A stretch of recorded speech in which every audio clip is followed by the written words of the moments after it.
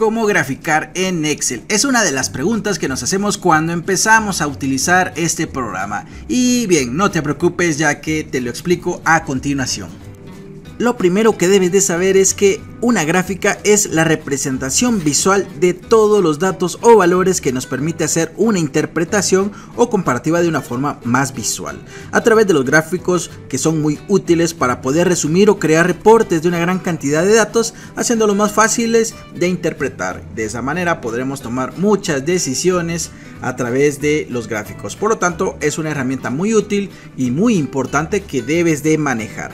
Bien, veamos cómo se utiliza. Aquí tengo una serie de datos, los cuales vamos a utilizar para poder graficar.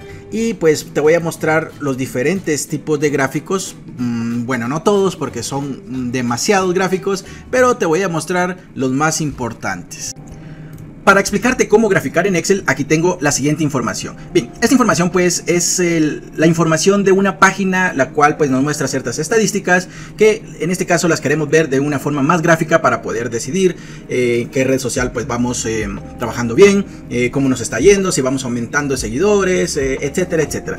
Y de esta misma manera lo podrás aplicar tú a cualquier tipo de información que tú desees. Bueno, algo muy importante, para poder graficar tus datos deben de estar de una manera ordenada como en una tabla, ¿sí? Así es que si nosotros los tenemos de esta forma, al momento de seleccionar e irnos hacia insertar y elegir nuestro tipo de gráfico, nos va a aparecer de esta manera. Te puedes dar cuenta que nos aparece, eh, no se puede leer, no se puede identificar bien, ya que los datos no se encuentran bien distribuidos dentro de las columnas. Bueno, entonces esto sería un error. No hagamos esto. Al momento de graficar, ¿sí? Bueno, entonces, ¿cómo lo hacemos? Bien, primero que nada nuestra información debe de estar agrupada en columnas, ¿sí? debe estar distribuida en columnas. Bueno, me acuerdo cuánto tenemos aquí, tenemos 225, 255, perdón, y 150 es el dato acá. Muy bien, ahora pues eh, voy a eliminar esta columna y listo. Ahora lo que vamos a hacer es que una vez que ya tenemos bien tabulados nuestros datos, lo que hacemos es seleccionar y ahora nos vamos a insertar y acá vamos a seleccionar el tipo de gráfico que deseamos utilizar. Uno de los primeros gráficos en seleccionar pues son los tipos de gráficos de columnas y barras. Aquí podemos ver, al momento de seleccionar pues ya está, simplemente es esto, ya graficamos, ya tenemos a través de barras, de columnas, eh, toda la información numérica. Aquí podemos observar gráficamente cómo los seguidores, tenemos más seguidores en Facebook que en Instagram. Y aquí pues sería un punto muy importante para poder tomar mm, decisiones y meterle más publicidad o nuevas eh, publicaciones, eh, no sé, ¿verdad? Para poder trabajar mejor en Instagram y poder alcanzar la competencia, por ejemplo, en Facebook. Bueno, ¿Qué podemos hacer con nuestro gráfico ya insertado? Una vez que ya tenemos nuestro gráfico, algo muy importante es el, título, ¿verdad? Por ejemplo, aquí podemos colocar eh, cantidad de seguidores de redes sociales. ¿sí? Muy importante, el título de un gráfico nunca debe de faltar. Ahora, ¿qué más podemos hacer? Como vemos, nuestro gráfico se encuentra bastante sencillo, muy simple. Aquí nosotros podemos cambiarlo. Si nos dirigimos en la parte superior, observamos que hay diferentes diseños. Aquí donde dice estilos de diseños, seleccionamos y aquí podemos seleccionar que de qué manera deseamos ver nuestros gráficos, ¿verdad? Se pueden dar cuenta, podemos cambiar totalmente la forma gráfica de cómo se ven nuestro, eh, nuestras barras en este caso, ¿sí? Bueno, también podemos intercambiar los colores, ¿verdad? En esta parte de aquí podemos seleccionar si queremos eh, un tema de colores acá, muy importante también, ¿verdad? Conocerlo. Ahora, algo que también podemos hacer es que podemos modificar cada barrita de una manera independiente. Simplemente la seleccionamos, nos ubicamos que aparezcan estos puntitos así alrededor, que no aparezcan en los dos, ¿verdad? Ya que eso indica que vamos a modificar las dos. Simplemente tiene que ser a una sola, simplemente le doy un clic y ahora me voy acá a esta donde dice formato de, gráfico, ¿verdad? Eh, me voy a esta sección, aquí puedo rellenar, utilizar por ejemplo rellenos sólidos, es un solo color, podemos utilizar degradados, ¿verdad? Aquí podemos encontrar diferentes, si queremos armar nuestro propio eh, pues degradado, ¿verdad? Eh, texturas, tramas, etcétera. Aquí podemos elegir de qué manera deseamos ver nuestro propio gráfico. ¿sí? Aquí pues podemos agregarle efectos, por ejemplo efectos de iluminados, bordes o aplicarle una visualización en 3D, un formato en 3D. Podemos seleccionar acá, por ejemplo, la superposición de series, que eso lo vamos a ver em, ahorita en un gráfico a continuación. Pero bueno, aquí prácticamente lo encontramos todas las funciones para poder modificar el estilo de nuestro, nuestra gráfica. ¿sí? Bueno, eh, algo muy importante también aquí, pues lo voy a, restablecer, ahí estamos, ¿verdad? Eh, para que se vea mejor. Bueno, Eh, algo muy importante también es que nosotros podemos manipular toda la información que se encuentra dentro de nuestro gráfico. En esta parte podemos encontrar, por ejemplo, los ejes. Los ejes se refiere al eje horizontal, que sería en la parte de abajo, y al eje vertical, que sería en la parte eh, del lado izquierdo. ¿sí? Bueno, entonces aquí nosotros podemos, eh, por ejemplo, cambiar, mostrar y ocultar qué información deseamos ver dentro de nuestra gráfica, ¿verdad? Aquí podemos también, por ejemplo, colocar un título a cada eje podemos eh, modificar nuestro título de gráfico, ¿verdad? Pues ya lo tenemos, ya no lo cambiamos. Las etiquetas de datos es muy importante porque hace referencia a este número que me representa dentro de la gráfica. A veces no podemos descifrar exactamente cuál es la cantidad de, en este caso, que me está representando esta barrita. Al momento de colocarle la etiqueta de datos, que sería en esta sección, yo lo tengo utilizado en extremo externo, ya puedo visualizar que son exactamente 255 que representan a los seguidores de Facebook y en este caso 150 a los seguidores de Instagram, ¿verdad? Entonces este, eh, esta opción es muy importante ponerla, lo podemos hacer desde este punto utilizando etiquetas de datos y aquí seleccionar en dónde los queremos aplicar, ¿verdad? Lo podemos ver también en forma de llamada o podemos hacerlo a través de los elementos del gráfico eh, picándole a esta cruz que se encuentra aquí y seleccionando la eh, la función, ¿verdad? Que le deseamos aplicar. Aquí pues podemos encontrar títulos de ejes también, tablas de datos, por ejemplo. Si nosotros queremos que los datos se observen que, eh, bueno, los datos que estamos graficando se apliquen en la parte de abajo, eso es muy útil, por ejemplo, cuando queremos tener nuestra gráfica en otra hoja diferente, ¿verdad? Para poder hacer eso, simplemente se le da un clic derecho a la gráfica y se elige la opción mover gráfico. Y ahora, por ejemplo, podemos movilizar nuestra gráfica, por ejemplo, a una nueva hoja, ¿verdad? Que se llame gráfico 1, aquí le podemos cambiar el nombre, presionamos aceptar y listo, observen, ahora ya puedo tener mi tablita ¿verdad? Que viene con información de mi gráfico, ¿sí? Bueno, entonces pues eh, ahí lo tenemos, ¿verdad? Si queremos pues em, regresarlo a donde estaba, lo, traemos otra vez con un clic derecho, eh, mover gráfico y como objeto, ¿verdad? En la hoja llamada archivos para gráficos. Ahí lo volvemos a traer, ¿sí? Bueno, entonces aquí encontramos también esto de línea de tendencia. ¿Qué significa? La línea de tendencia me da, me puede dar mucho eh, mucha información ya que me puede representar de qué manera va mi tendencia en cuanto a redes sociales. Por ejemplo, eh, aquí en este caso se podría decir que mi tendencia es hacia abajo ya que pues eh, voy de más a menos en el caso de Instagram. ¿sí? En este caso si pues Instagram fuera superando o teniendo más seguidores pues mi tendencia iría hacia arriba. Eso repito es muy útil por ejemplo para tomar decisiones. Bien. ahí tenemos este tipo de gráfico, ¿verdad? Vamos a ver qué otros tipos de gráficos podemos insertar. Voy a eliminar este. Voy a volver a seleccionar ahora esta, esta información que tengo aquí abajo, por ejemplo, los seguidores que tengo de acuerdo a las edades. Bien, para este tipo de información podemos utilizar, por ejemplo, un tipo de gráfico circular.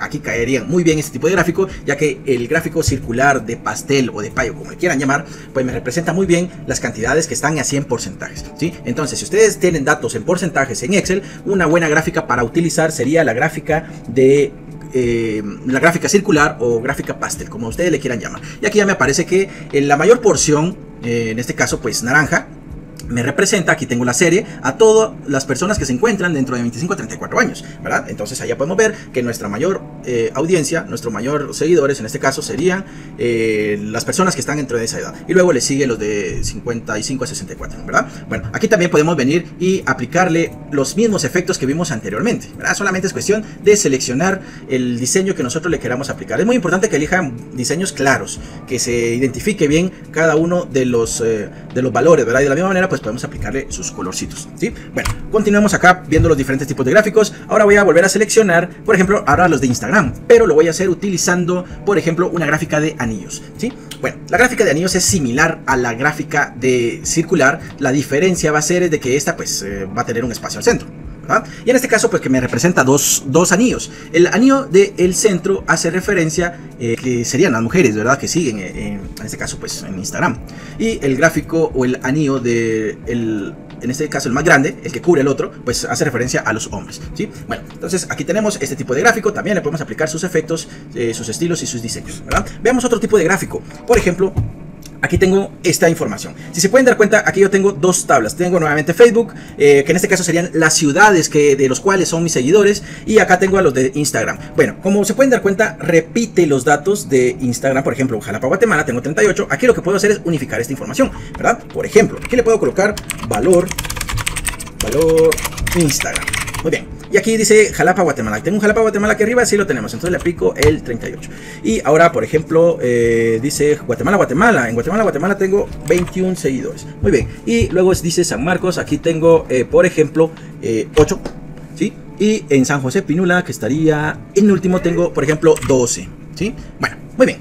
Ahora selecciono estos datos y le voy a aplicar, vamos a ver, un buen gráfico que me puede ayudar sería este de acá llamado combinado. Bueno, eh, voy a seleccionar, por ejemplo, le voy a aplicar agrupadas, eh, le voy a aplicar este. Bueno, como se pueden dar cuenta, las barritas de color azul representan a Facebook y en este caso la línea naranja pues me representa a Instagram. Bueno, eh, se pueden dar cuenta que está recortada, nomás me aparece para acá y ya no me apareció absolutamente nada más en Instagram. ¿Por qué sucede eso? Esto sucede porque las demás celdas de, la, de donde están las columnas, los datos de Instagram, tiene, están vacías. Para corregir esto lo que deben de hacer es irle agregando un cero a todos los espacios o las celdas que se encuentren vacías. Y listo, ahora sí, ya me aparece cómo eh, gráficamente se representan los, eh, los seguidores de acuerdo a cada ciudad. Por ejemplo, en Jalapa, Guatemala, le vamos a aplicar también a esta eh, etiqueta de datos. Listo, así podemos visualizar mejor cuál es la cantidad exacta que representa cada una de, la, de la, gráfica, ¿verdad? Bueno, Jalapa, Guatemala, por ejemplo, yo tengo 4 en Facebook y en Instagram tengo 38, ¿verdad? Bueno, aquí podemos observar que, por ejemplo, en Guatemala, Guatemala, que sería el siguiente valor aquí, en mi gráfica me parece que son 10 para Facebook y son 21 para Instagram, ¿verdad? Muy bien.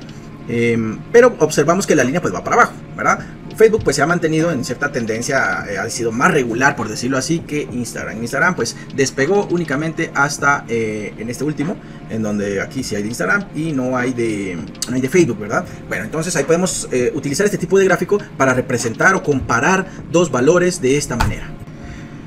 Otro de los gráficos que también podemos utilizar para poder graficar nuestros datos es, por ejemplo, acá tengo los seguidores por ciudad, por país, podemos utilizar este tipo de gráfico llamado embudo, en donde va de mayor a menor, ¿verdad? Mostrándonos eh, gráficamente cuáles son las ciudades que tienen más seguidores de, forma, eh, sería de manera pues descendente, ¿verdad? Bueno, y también podemos utilizar, por ejemplo, un histograma. En el histograma podemos trabajar, por ejemplo, este llamado Pareto, que lo que va a hacer esta gráfica es ordenarme de manera pues descendente utilizando esta línea llamada Pareto, ¿verdad? Este tipo de gráfico simplemente sirve para poder ver de mayor a menor nuestra información, ¿verdad? Si podemos verificar cuáles son las ciudades más importantes que tenemos de nuestros seguidores y así de la misma manera poder ir creando pues el contenido de verdad de acuerdo a las ciudades, ¿sí? Y bueno, y bien, aquí por último tenemos la información pero delimitada por tiempo. El tiempo puede ser por día, por semana, por mes, por año, etc. Aquí en este caso pues tengo los seguidores, por ejemplo, desde el mes de enero hasta el mes de diciembre. Una buena gráfica que podemos utilizar puede ser la de línea, en la cual pues me puede representar cómo ha ido ya sea creciendo o cayendo los seguidores de acuerdo a cada mes. Y de esa manera poder ir tomando ciertas estrategias, ¿verdad? Entre las estrategias pues sería, por ejemplo, en el mes de junio, que donde vemos que ahí eh, bajó, podemos ir creando eh, nuevos, eh, cuestiones, nuevo contenido, nueva información, verificar los países, etcétera, ¿verdad? Entonces es una muy buena herramienta el saber graficar, ya que nos va a poder permitir poder tomar las decisiones correctas para poder incrementar, eh, por ejemplo, si es una tienda de ventas, pues incrementar nuestras ventas en determinado mes, crear promociones, publicidad, etcétera, etcétera. Y eso pues nos va a aumentar nuestro rendimiento. En este caso, pues lo que queremos son incrementar el número de seguidores. Entonces sería la cuestión de incrementar estrategias para atraer más seguidores a nuestra página, ¿verdad? Y bueno, entonces ahí tenemos la forma de cómo graficar en Excel y qué tipo de gráficas podemos utilizar de acuerdo al tipo de información que estamos manejando, ¿verdad? Entonces espero que esta información te haya servido muy útil y nos vemos en una próxima. Chao.